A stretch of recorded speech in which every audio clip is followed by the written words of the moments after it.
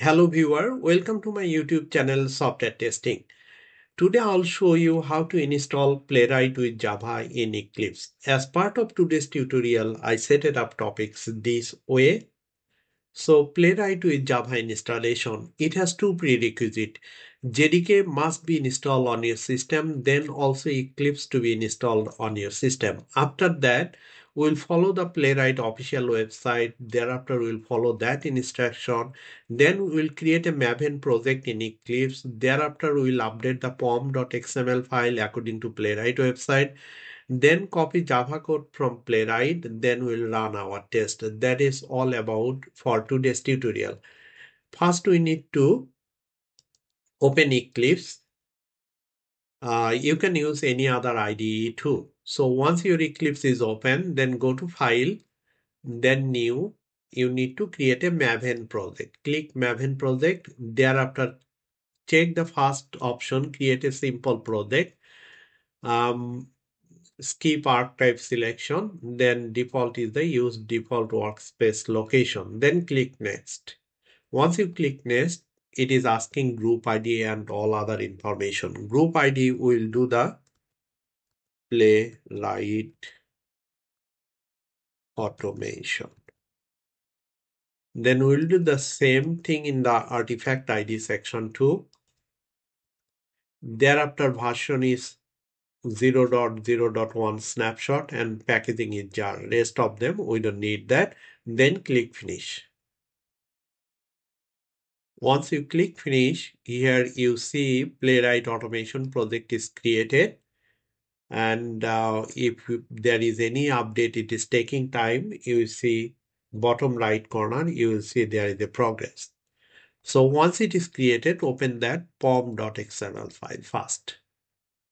This file pom.xml needs to be updated as per Playwright website. In order to do that, open any browser, then go to google.com. Then type in the search box playwright. Then hit enter. You will get the first website which is playwright.dev.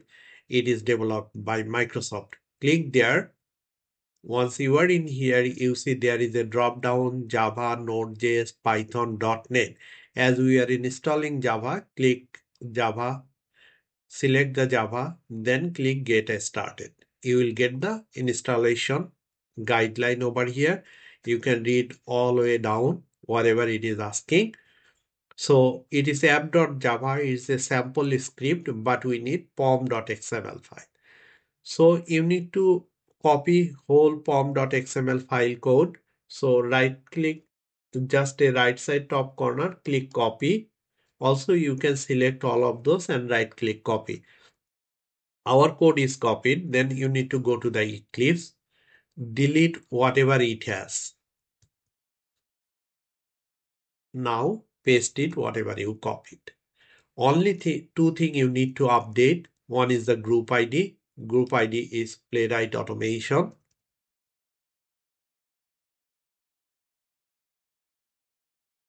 Playwright automation.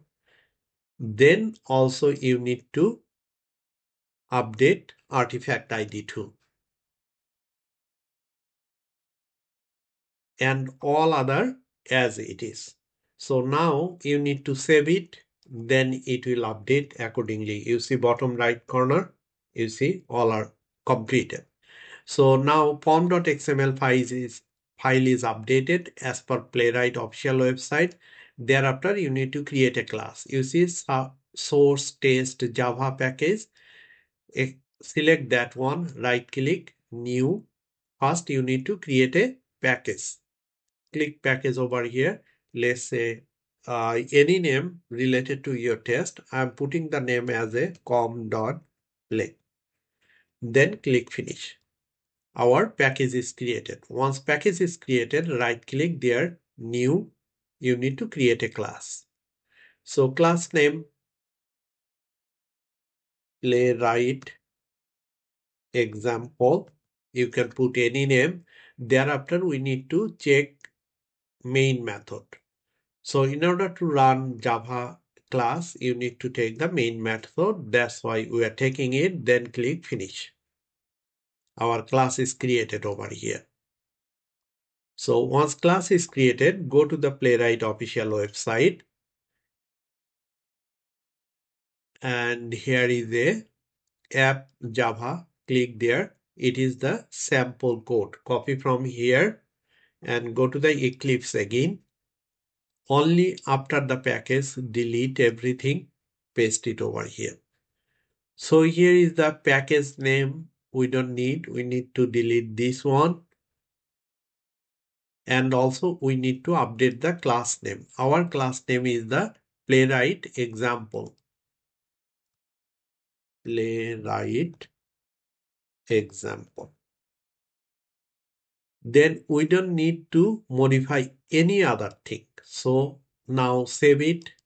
If you see any error, then you need to fix that error. Though we are not seeing any error, we can run this test.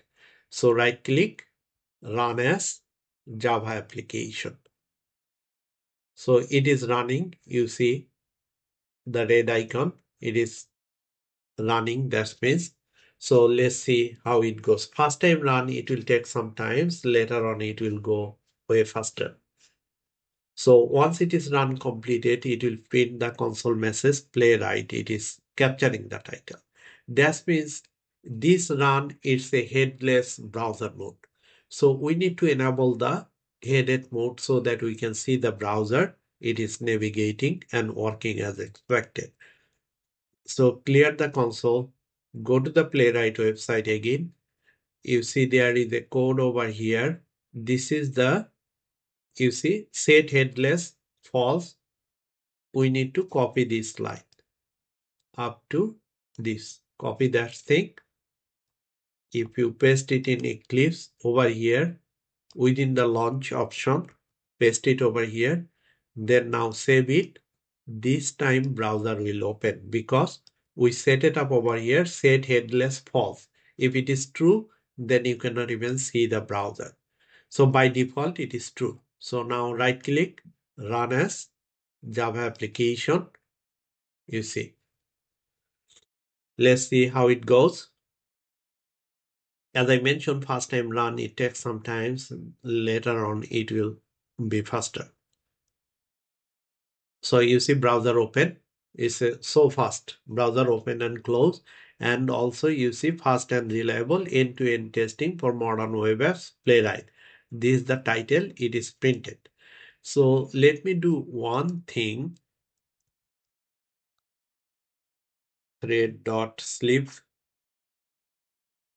let's say we'll do 5000 millisecond because we need to see the um, website as browser open. It's a red mark, mouse over, add throws declaration, red mark will be gone. Thereafter, we can put another message, SYSO, control space bar. Let's say playwright works as expected.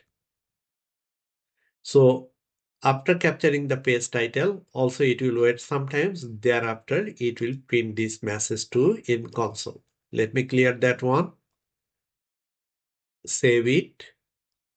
And also right click, run as Java application. Let's see how it goes. It is running.